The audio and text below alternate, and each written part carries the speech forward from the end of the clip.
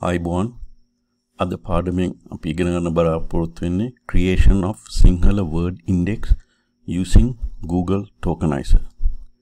දැන් Google Tokenizer මොකක්ද කියලා අපි කලින් ඉගෙන ගත්තා. දැන් අපි අද කරන්නේ සිංහල භාෂාවෙන් Google Tokenizer එක use කරලා word index එකක් හදන හැටි. ඊට පස්සේ අපි word index එක හැදුවට පස්සේ මම කලින් ඉදිරිපත් කරා මේ වර්ඩ් ඉන්ඩෙක්ස් එක අරගෙන ඒකෙන් අපි හදනවා මෙට්‍රික් එකක් මෙට්‍රික් එක හදලා ඒක පෑඩ් කරනවා ඊට පස්සේ ඒ මෙට්‍රික් එක අපිට යූස් කරන්න පුළුවන් ආටිෆිෂල් නියුරල් නෙට්වර්ක් එකක් සඳහා. ඉතින් ඒ ඔක්කොම මම කලින් කරලා තියෙන්නේ අද අපි කරන්න බලාපොරොත්තු වෙන්නේ වර්ඩ් ඉන්ඩෙක්ස් එකක් සිංහල භාෂාවෙන් හදන එක. දැන් උදාහරණයක් හැටියට දැන් මම මේ සිංහල භාෂාවට පාවිච්චි කරේ මේ වෙබ්සයිට් එක www.lexilogos.com දැන් මේ පාට අද පාඨමාලාව ඉගෙන ගන්න නම් කලින් කරපු මගේ පාඨමාලාවල ෆලෝ කරලා තියෙන්න ඕන. ඉතින් අපි බලමු දැන් කොහොමද මේක කරන්න කියලා. මුලින්ම අපි TensorFlow අපි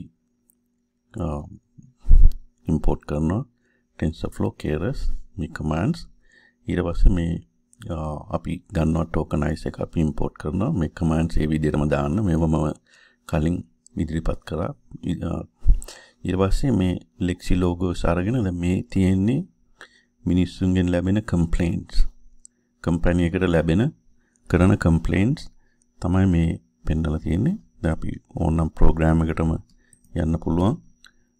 මේක තමයි Google tokenizer Google Colab හරි Google Colab ඊට පස්සේ import TensorFlow STF keras. Tokenize අපි import කරනවා ඊළඟට padding මම කලින් කරා padding කියන්නේ මොකක්ද කියලා pad sequences අපි import කරා ඊට පස්සේ මේ තියෙන්නේ මේ complaints. මිනිස්සුන්ගෙන් ලැබෙන complaints company එකට මම මේ නිකන් දැම්ම මට මුදල් දෙන්න හොඳ නෑ ඌට පිස්සුව වගේ දේවල් මේ කම්පලේන්ස් ඔක්කොම මේ මෙතන දාලා තියෙන්නේ. දැන් මේවා අරගෙන අපි හදන්නේ sentiment analysis. ඒ කියන්නේ උදාහරණයක් හැටියට අපි කරන්න හදන්නේ මේ කම්පලේන්ස් ආවම ඒවා කැටගරයිස් කරන්න ඕන සමහර කම්පලේන්ස් වලින් අවශ්‍යයි මිනිස්සු ඉල්ලන මුදල් රිෆන්ඩ් එකක් ඉල්ලනවා. හරි ඒක සමහර කම්පලේන්ස් වලින් මේ කම්පලේන් කරනවා රිෆන්ඩ් එකක් ඉල්ලන්නේ නමුත් කම්පලේන් එකක්. හරි? ඕගේ වැඩ හොඳ නෑ හරි ඌට පිස්සු. ඇගේ වැඩ හොඳයි සමාර කම්පලිමෙන්ට් කෙන හොඳ කියන මේ වගේ. මේවා කැටගරයිස් කිරීම තමයි අපි කරන්න බලාපොරොත්තුවෙන් ඉතින් අපි මේ විදියට මේ ලෙක්සි ලෝගස් එකින් මේ විදියට අපි මෙතනට දානවා. මේ ඒ සෙන්ටන්සස් මේ කොමාරොම ඒ විදියටම පාර්චි කළ යුතුයි. ඊළඟට අපි ටෝකනයිස එක අපි සෙට් කරනවා වර්ඩ්ස් ගාන අපිට සාමාන්‍ය අවබෝධයක් තියෙනවා කොච්චර වර්ඩ්ස් යූස් කරනවාද කියලා.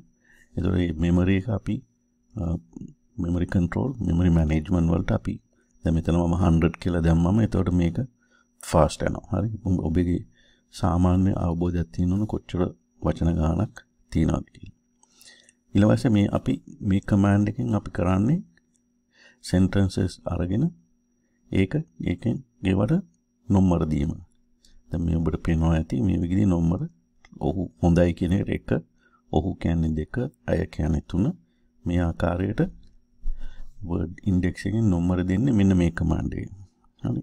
ඊට පස්සේ වර්ඩ් ඉන්ඩෙක්ස් එක හදන්න කියන කමාන්ඩ් එක මේ කමාන්ඩ්ස් ඒ විදිහටම දාන්න. ඊළඟට සීක්වන්සස් සීක්වන්සස් කියන්නේ මැට්‍රික්ස් එක. හරි?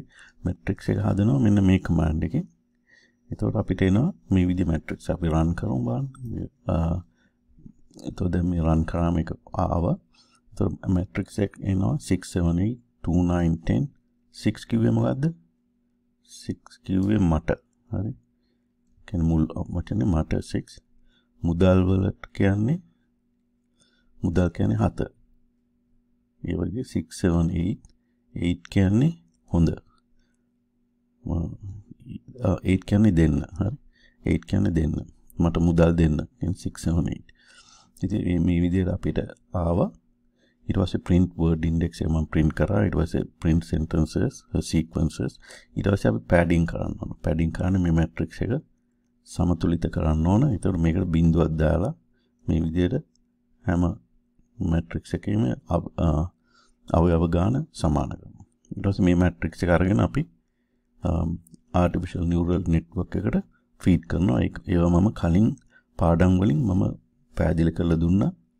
Um, ඔක්කොම functions sigmoid functions loss functions අරවා මේ ඔක්කොම මම කලින් පැහැදිලි කරලා දුන්නා. දැන් මේ පාටමින් පාඨමාලාවෙන් අද කරේ කොහොමද මේ වර්ඩ් ඉන්ඩෙක්ස් එක සිංහල වචන අරගෙන ටෝකනයිස් එක යූස් කරලා වර්ඩ් ඉන්ඩෙක්ස් එකක් හදලා මෙට්‍රික්ස් එකක් අරගෙන ඒකට පෑඩ් කරලා ඊට පස්සේ මේ පැඩඩ් මෙට්‍රික්ස් එක අරගෙන ඊට පස්සේ ඔබට පුළුවන් ආර්ටිෆිෂල් නියුරල් නෙට්වර්ක් එකට ෆීඩ් කරලා අපේ ඒ සෙන්ටිමන්ට් ඇනාලිසිස් කරන්න. ඒ ටික මම කලින් පැහැදිලි කරලා දුන්නා. බොහොම ස්තුතියි සමන් දුන්නට.